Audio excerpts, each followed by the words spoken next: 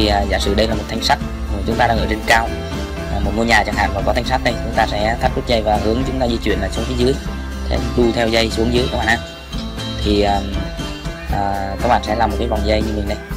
À, còn có cái sợi dây bên trái và sợi dây bên phải. À, theo hướng nhìn nhé các bạn. Thì bây giờ mình lấy sợi dây bên phải mình à, à, luồn vòng lên cái à, cái thanh sắt và sau đó chúng ta luồn từ bên phải qua bên trái.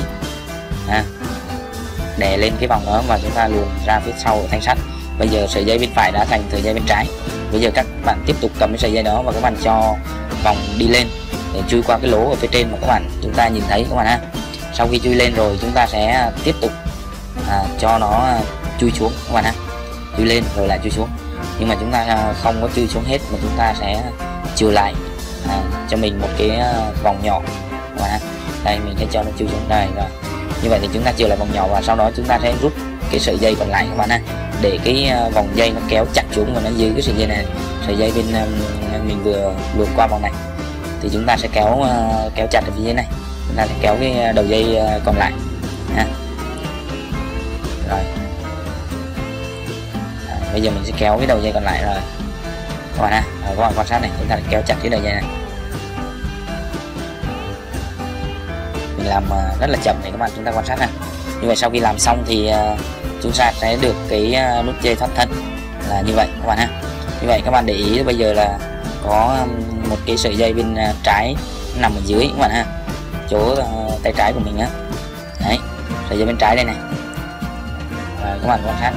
Khi chúng ta xuống thì chúng ta sẽ xuống theo cái sợi dây bên trái này đúng không? Đừng có xuống nhầm sợi dây bên phải nha. Và sau khi xuống xong thì chúng ta sẽ rút sợi dây bên phải. À, xuống xong nha xuống mặt đất xong thì chúng ta sẽ rút cái cái um, đây các bạn à, xuống cái sợi dây bên bên trái này này. Chưa còn à, khi nào mà xuống xong chúng ta sẽ rút sợi dây bên phải này. Chúng ta um, mang theo sợi dây để chúng ta sử dụng ở một cái độ cao khác chẳng hạn. Nút ghế đơn. Là chúng ta tạo một cái vòng dây.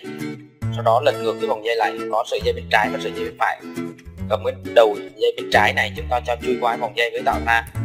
Và vòng qua thân sợi dây bên phải và chui xuống lại cái vòng dây chúng ta vừa tạo ra. Chúng ta được những cái đơn. À, những cái đơn chúng ta sử dụng để uh, kéo người từ ở phía dưới lên trên cao.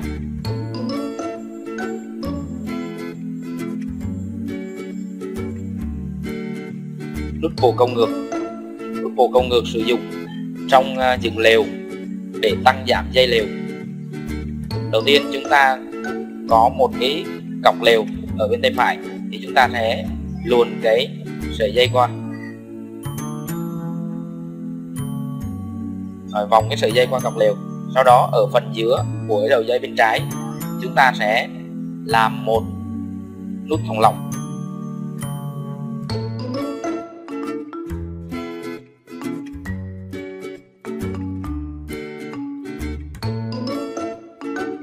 sau khi tạo một nút thành thòng lọng chúng ta có một vòng dây thứ hai.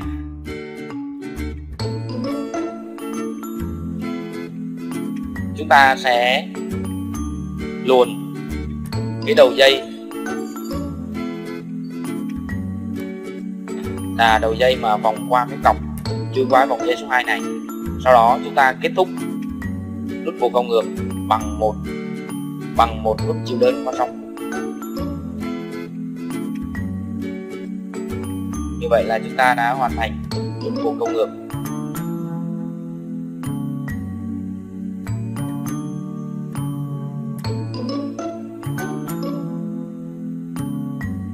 nút thắt cổ chai.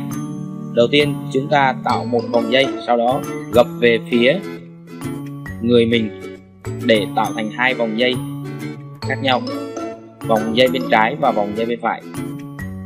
Chúng ta sẽ đặt vòng dây bên phải lên vòng dây bên trái.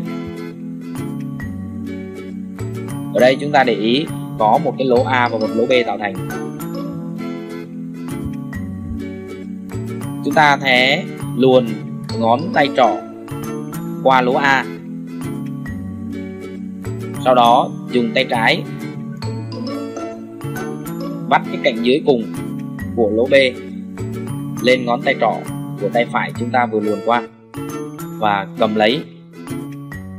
Cái cạnh dây này sau đó tay trái dùng tay trái sẽ móc hai cái sợi dây hai bên xuống theo hướng thân mình và tay tay phải sẽ rút hai tay rút để tạo thành nút thắt cổ chai. Nút thắt cổ chai dùng để buộc vào cổ chai có như ra một vòng dây để ta có thể treo hoặc đeo một cách dễ dàng. Nút đơn chúng ta có sợi dây A ở bên tay trái và sợi dây B ở bên tay phải. Sợi dây A, chúng ta tạo thành một vòng dây, đặt một đầu của sợi dây B lên vòng dây vừa tạo thành. Sau đó, cho cái đầu của sợi dây B luồn xuống sợi dây bên phải của vòng dây vừa tạo thành.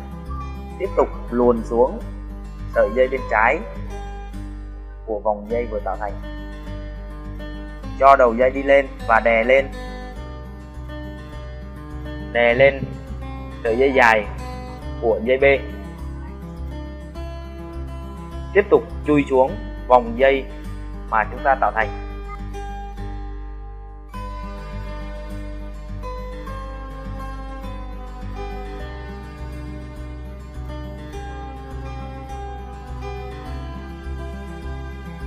Chúng ta được nút carriage đơn. Nút carriage đơn được sử dụng để nối các loại dây cứng và dùng để trang trí. À, xin cảm ơn tất cả các bạn chúng ta đã theo dõi. Xin tạm biệt.